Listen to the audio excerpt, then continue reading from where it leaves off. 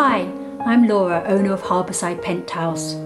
We fell in love with St Ives two years ago and hope you will too as a guest in our apartment in the heart of St Ives.